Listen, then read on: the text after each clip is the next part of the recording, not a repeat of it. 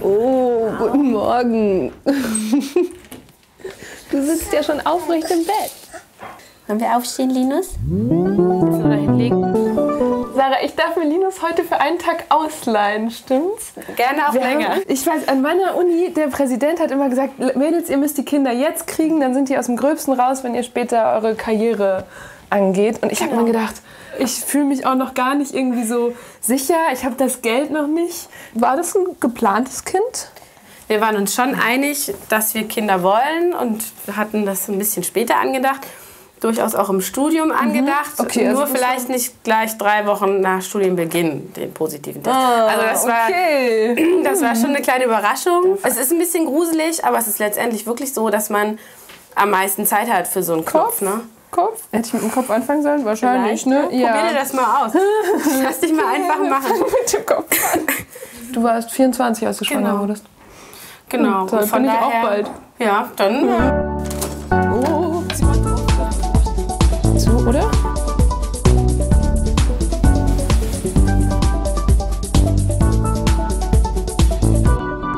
Wenn ich jetzt heute für einen Tag die äh, Leihmami bin, wie teilen wir uns denn das heute beide auf? Eigentlich. Also ich werde soweit, äh, ich werde soweit dann gleich, genau, ich werde dann gleich nach dem Frühstück werde ich dann rüber gehen ins Büro, noch ein bisschen arbeiten. Aber das klingt ja dann Zumindest eigentlich mittags doch bin ich da. so ein bisschen nach der klassischen Rollenverteilung. Er geht arbeiten und du bist die Ja, das Mutti. War, das, das, das war aber damals also nicht so. Ich habe die ersten drei Monate eigentlich Elternzeit gemacht, habe während der Zeit ähm, meine Masterthesis geschrieben und habe das, Mhm. Das dann. war auch noch. Ja, das kam auch noch mit dazu, ja. Die wichtigste Bedingung für uns war dann noch, dass ich ihn mitnehmen darf in die Vorlesung. Ja, Und da hatte und ich das eben ging. auch die, äh, das vollste Verständnis von allen, also wirklich von allen. Und es war eigentlich auch nie ein großes Problem. Ja. dann- Nein! Oh. Willst du lieber Sandwich, sag mal? Ja, jetzt guck du mich böse an. Ich hab doch hier so schön gestreichen. Hm? Nein? You can feel it in your hands. Ah, ah. Was ist noch nicht falsch gelaufen oder nicht durchgeführt worden? Wenn Sie sich dieses Fallbeispiel noch mal kurz anschauen. Das jetzt verhält er sich ja halbwegs ruhig. Was ist denn, wenn er mal so richtig auf, auf Feuer ist? Seine machst du dann? wiederum hätten keine Ahnung, muss die seinem anrufen. Dann kommt Lars Nordhänger. was er alles leisten muss.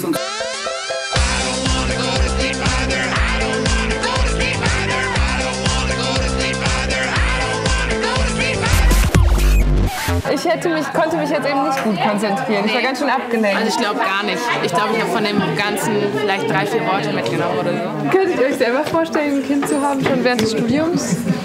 Äh, nee. Also ich persönlich nicht, ne? Warum nicht? Das Studium ist Hardcore hier. Und nebenbei sollte man, also hat man meistens auch einen Nebenjob. Also wir zumindest.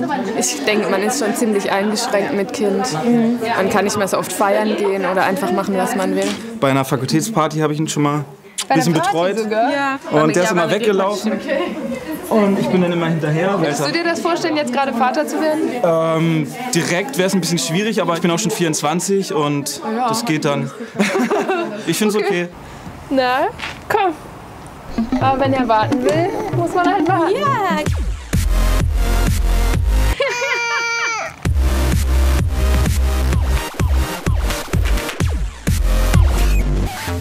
Können wir uns ein Kind überhaupt leisten? Ich glaube, mir wird das schon irgendwie Angst machen, weil ich könnte auch gar nicht berechnen, wie teuer so ein Kind ist. Ich, äh, wir haben uns da nicht so die Gedanken drüber gemacht.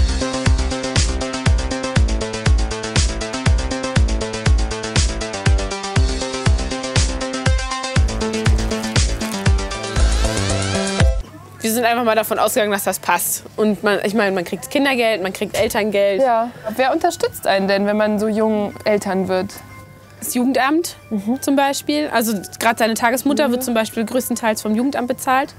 Für Studenten zahlen die besonders viel, glaube ich, weil sie einfach bemüht sind, dass die Studenten ihr Studium fertig machen können, um dann zu arbeiten, um dann das Kind selber Ja. vollständig mit allen Kosten drumherum versorgen zu können. Also letztendlich schaffen tut man das schon.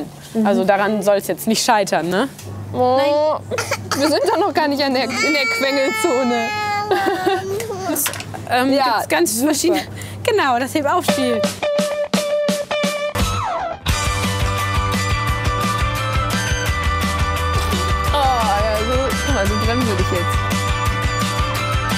Als Studentin, ich habe das total genossen, eben keine Verantwortung zu haben. Ich glaube, man ist, also gerade wenn man selber auf dem Spielplatz mit irgendwie vier anderen Kommilitonen oder Freunden oder so noch rumtobt und selber denkt so, Ja. okay, und ich übernehme jetzt hier Verantwortung für so einen kleinen Knopf. Ja, ne? genau, ja. Also wenn man selber dann so, so seinen Spaß hat und irgendwie so miteinander rumarscht. Aber ich glaube, gerade das macht so, so eine Beziehung, gerade wenn man so jung Eltern wird, so eine Beziehung zum Kind entspannt. Ich bin zum Beispiel letzten Sommer, also ich würde das nicht missen wollen, auch einfach mal spontan den Rucksack auf und verreisen zu können oder so. Das geht ja mit so einem Knirps nicht mehr. Nee, das geht nicht, das stimmt. Macht dich das wehmütig? Also es gibt schon Sachen, wo ich sage, hey, da hätte ich schon irgendwie auch noch mal Lust drauf. Ja. Würde ich gerne machen, aber es geht mit ihm momentan nicht, weil er einfach noch zu klein ist. Und dadurch, dass Ja. wir ja noch nicht Mitte 40 sind, äh, bleiben so Rucksacktouren ja auch noch nicht aus.